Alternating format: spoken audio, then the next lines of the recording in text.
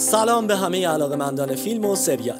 به پاپکورن امروز خوش اومدید. می‌دونم که خیلیاتون سریال های تلویزیون رو نمی‌بینید و طی این چند سال هم جز تعدادی انگشت شمار سریال های خوبی از صدا و سیما پخش نشده.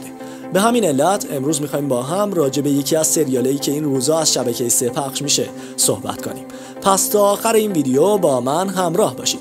اما مثل همیشه یادتون نره که channel پاپکورن رو subscribe کنید و زنگوله بغلش رو هم بزنید تا به محض انتشار ویدیوی جدید بتونید اونو ببینید.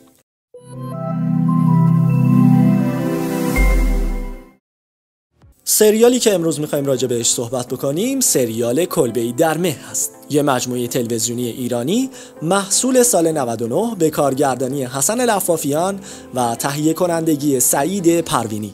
فیلمبرداری این سریال از سال 99 و پخش اون به صورت روزانه از 13 خرداد 1400 آغاز شد.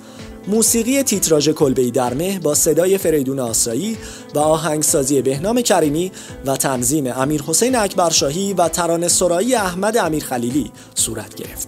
ژانر این سریال درام اجتماعیه و داستان این سریال هم در بستر وقایع اول انقلاب اسلامی میگذره و در اون سعی شده تا در عین رعایت استانداردهای جذابیت دراماتیک یک سریال تلویزیونی به صورت غیر مستقیم به برخی از معلفه های تاریخی انقلاب اسلامی هم اشاره بشه.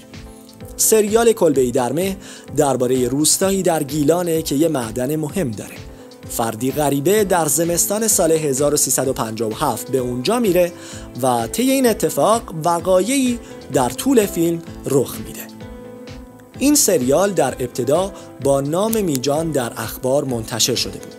که به دلیل شیوع بیماری کرونا عوامل و کارگردانان این سریال تغییر کردند و نام این سریال هم به کلبه درمه تغییر یافت بازیگران ناماشنای سینما و تلویزیون هم در این سریال جلوی دوربین رفتند فرخ نعمتی، روزیتا غفاری، مریم بوبانی، سام غریبیان و آشا مهرابی از جمله بازیگرانی هستند که در این سریال ایفای نقش می‌کنند.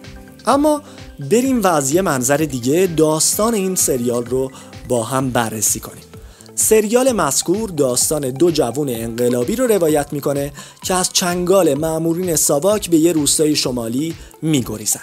تا تصاویر مربوط به اعتراضات مردم رو از طریق مرزهای شمال کشور به رسانه های بین المللی برسونن تا وقایع انقلاب اسلامی ایران به گوش عالمیان برسه. یکی از اونا در جریان این تعقیب و گریز به شهادت می‌رسه و دیگری هم مجروح میشه.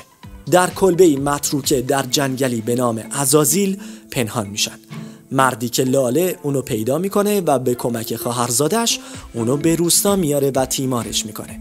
مرد جوون که امیر نام داره خودش رو دامان خواهرزاده تایه معرفی می‌کنه و در معدنی که متعلق به خانواده خان اون منطقه است مشغول به کار میشه. خانواده امیر به طرز معجزه آسایی اون رو در اون روستای جنگلی پیدا می‌کنن و سعی می‌کنن تا اون رو به تهران بازگردونن. چیدمان داستان شاید در نگاه اول قوی به نظر بیاد. اما بیننده ای که با چند و چون انقلاب اسلامی ایران آشنایی داشته باشه متوجه برخی نقص ها و نقد ها میشه. امیر قهرمان مؤمن و معتقد و انقلابی داستان از خانواده که ظاهرا ارتشیان و چندان اعتقادات قوی مذهبی هم ندارن یک قهرمان انقلابی که نیتش نمایش اعتراضات مردمی در قالب عکس و نگاتیو به رسانه های بین المللیه گهگاه با میجان دختری روستایی که اون رو در کلبه جنگلی عزازیل پیدا کرده و نجاتش داده در اتاقی تنها میمونه و رو در رو صحبت می‌کنن برای حفظ هویتش متوسل به انواع دروغ ها میشه تا به دام ساباک نیفته. البته که دروغ پردازی برای شخصیت یک قهرمان انقلابی در سریال منطقی نیست. دختر اموش دلباخته اونه و بدون هیچ رد پای صحیح و منطقی اون رو در روستایی دور افتاده پیدا می‌کنه. ازازیل در فرهنگ اسلامی و در سایر ادیان الهی نام قربانی شیطانه و صحیح نیست که قهرمان انقلابی داستان در کلبه جنگلی به نام ازازیل که نماد فرهنگ شیطانیه پنهون بشه. اینکه جوونی انقلابی و مؤمن و معتقد تصمیم می‌گیره نگاتیو های مربوط به اعتراضات مردمی را از طریق مرزهای شمالی کشور به دست رسانه های بین المللی برسونه چندان منطقی نیست. مرزهای شمالی کشور همجوار با شوروی سابقن و اگه قرار بود نگاتیو ها به دست کسی برسه بهتر بود از طریق مرز کشور عراق باشه. فرق فاحشی بین انتخاب شوروی یا عراق در فرهنگ سیاسی کشورمون وجود داره. علا رقم این که در نظام پهلوی سیستم ارباب و رعیتی در اوایل دهه چهل از بین رفته بود در این سریال هنوز هم خان و ارباب پابرجاست. یا با اینکه در اون زمان دیگه نوار جای گرامافون رو گرفته بوده و به قولی تحول در تکنولوژی به وجود میاد شخصیت امیر سعی می‌کنه تا نوار سخنرانی امام خمینی رو پیاده سازی بکنه. اما خان بزرگ هنوز در خونش گرامافون گوش می‌کنه. این مدل پارادوکسا در سریال حسن لفافیان چندان قابل درک نیست. شخصیت میجان دختر روستایی هم چندان درست طراحی نشده. اون یه دختر بی سواد روستاییه که چندان زیبایی ظاهری نداره. پس دلیلی نداره پسر خان که در رقابت با پدرش خودش رو میراثدار حکومت اربابان می‌دونه و در زن همسرش برای بار سوم بار داره خودش رو دلباخته دختری روستایی بی سواد فقیر از خانواده سطح پایین باری از هر گونه جذابیت شخصیتی دیگه ای نشون بده.